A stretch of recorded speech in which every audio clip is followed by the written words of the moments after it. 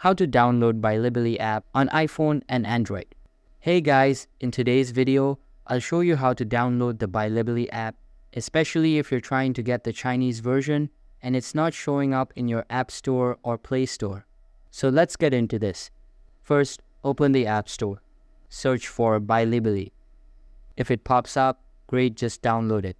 But if it doesn't appear at all, that's because it's region locked to China.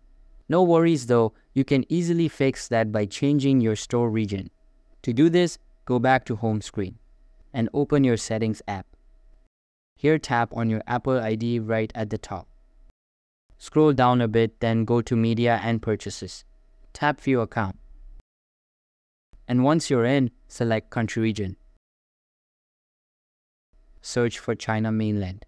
Here you can see I've already switched to China mainland. Now it'll ask to agree to the terms and conditions. If it asks for an address, just enter any random one. Any city in China, just fill in something that fits the format. And tap next.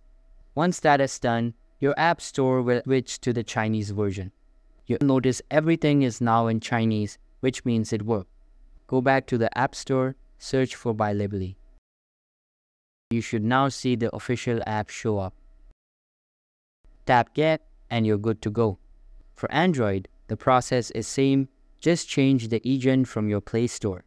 Once the app's installed, you can switch your App Store region back to your original country. If you want, it won't affect the app you just downloaded. That's it. Now you're ready to explore all the content on Bilibili.